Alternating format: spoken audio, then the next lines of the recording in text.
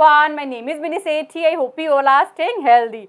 Today we are going to talk about catch-up effect or you can say that convergence theory.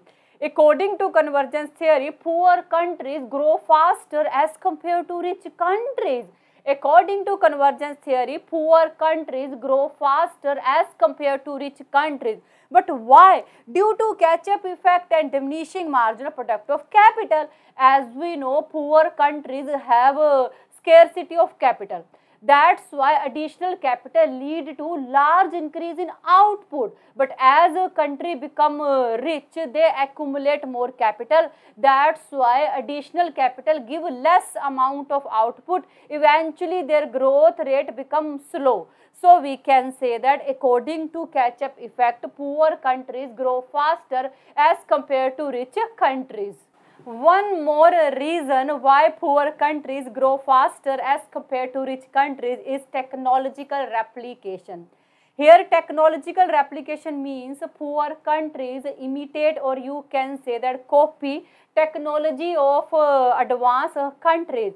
Here technological replication means poor countries imitate or you can say that copy technology of advanced countries. That's why they don't need to spend so much time and resources which actually require for original innovation.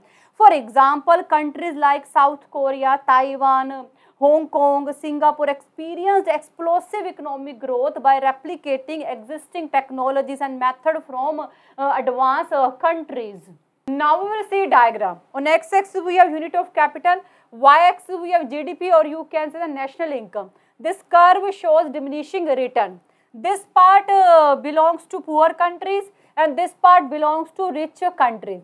Here you can see when poor country increase their capital from 3 to 4, it will lead to 10 to 14 increase in uh, GDP. But when rich countries increase their capital from 8 to 9, it will lead to only 19 to 20 increase in GDP. Here you can see when poor country increase uh, capital, GDP increase more, but when rich country increase uh, capital, GDP increase very less. Now we will see limitation that hinder catch-up effect, lack of capital. No doubt technology is already available, technology is existing, but still we require uh, capital in order to imitate uh, existing technology na? but uh, poor countries have lack of capital. Sometimes poor countries don't have social capabilities to absorb existing technology.